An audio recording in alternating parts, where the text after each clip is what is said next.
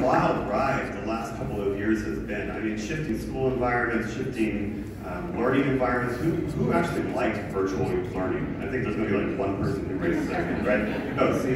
There she is. I see you. Uh, uh, most of us did it, and I think that was tough on both sides of the of the spectrum there for, for teachers and for, for students. Um, you were trying to figure out whether or not you needed to take the SAT, right? We were changing things on, on our end as well. Um, and I don't know that there's been a group of students over the past 20 years that, that I've been in admissions that has been through uh, so much in such a short period of time. And it really shows. I was talking to one of our alums this morning who, who reads with us, and we were commenting about how hard it was to actually read applications this year. 94,000 applications that we read through freshmen. Um, and every single one of you deals with so much in the world um, at, at, a pretty informative period in your lives. And that was hard for us to kind of to, to just grapple with, right? We, we were feeling that. You did everything you were supposed to do and then to have to work through the, the past couple of years was, was, was really challenging. Um, you shared with us the, the ch those challenges in kind of really dramatic form. Uh, everything from, you know, family members who were sick or may have lost a friend or a family member.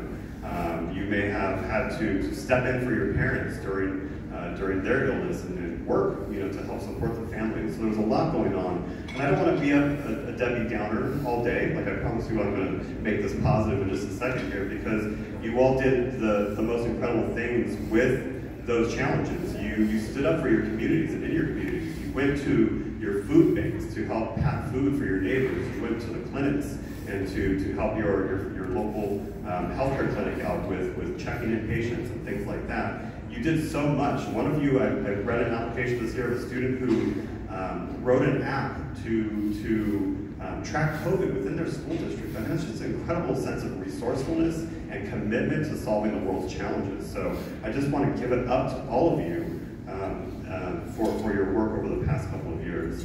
Um, this is, I'm new to UC Davis. This is actually my first year, uh, my first admitted class here at UC Davis. And, um, and, I, and I'm proud to say that you all represent um, far and away the most accomplished class that we have ever admitted to this campus. Fewer than a third of the students who applied to UC Davis this year were admitted. And you are all part of that group, and we are so very, very proud of you. Um, if you have any doubt whatsoever that you belong in UC Davis, let me just put that to bed right now. Uh, as the Executive Director of Undergraduate Admissions, as the person who signed your letter, you absolutely 100% belong here You absolutely 100% have earned your space, and I want you to feel that and to know that and, and just realize that we were we are so incredibly proud of you. So one more time, let's give it up for the students who worked so hard.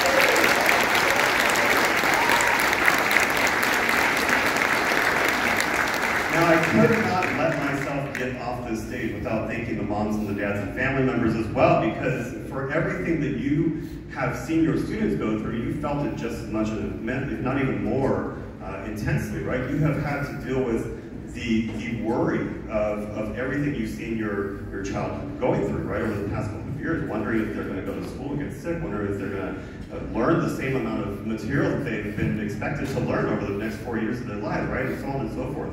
And, and, and, and I don't know how you do it. I don't, I have six nieces and nephews, my greatest joy is giving them back at the end of the day, right? So the, the fact that you all are able to just to, to deal with that and kind of guide them and, and, and raise such a wonderful generation of future leaders, our future doctors, our future lawyers, our future poets and, and, and authors and, and, artists. I mean, you all are raising an incredible generation. So moms, dads, I need you to actually stand up.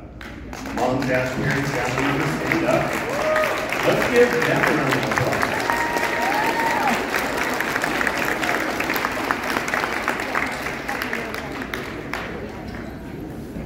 So that wasn't a very big round of applause for moms and dads. I gotta say, like, I'm cheering inside for you.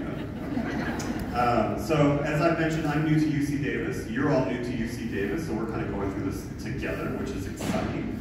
Um, and I have uh, a lot of opportunities coming up. We have a lot of opportunities for you to, to learn about UC Davis, including the program here today.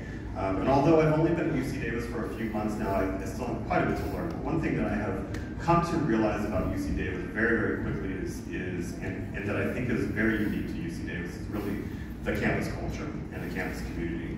UC Davis has been one of the, the most warm, welcoming places that I have ever had the pleasure of working